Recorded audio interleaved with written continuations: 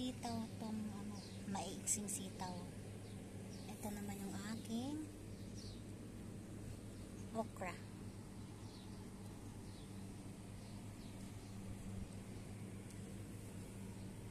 Dito tayo sa malalaki. Ito, oh, siguro ang apat na piraso nito isang kilo na. Napakalaki guys. Ang daming bunga guys. Ganon daw pala yung pag madaldal ka. Joke.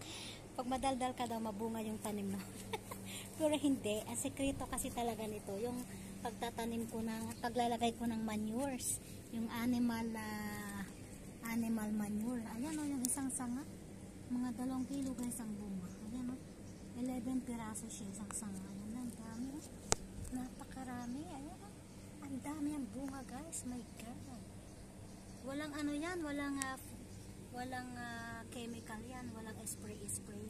Basta nilagyan ko lang siya ng mga patabang mga yung mga ipot ng manok kasi may alaga akong manok dito. Ayan. Yan. Pataas ng pataas kasi ano pala to eh indeterminate tomato.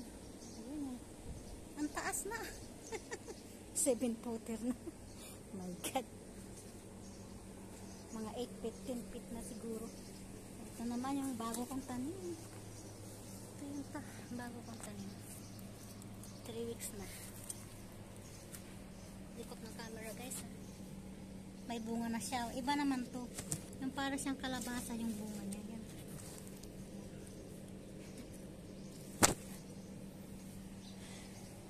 Ayan. Tapos may tanim ako rito. Isang punong milon. Ayan, isang puno lang siya. Magtatag-araw na kasi kaya natatakot ako magtanim na marami. O, ayan guys! Pinakita ko sa inyo ang aking mini garden. Ay, yung libangan ko everyday pag wala akong ginagawa dito ako. Dito ako manghang-mangha. Ang laki-laki. Ayan. Okay.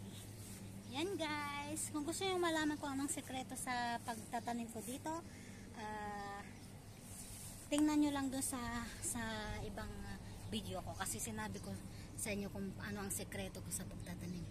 Manyos lang naman. Ayan. No need naman chemical. No need spray. Okay guys. Till here na lang.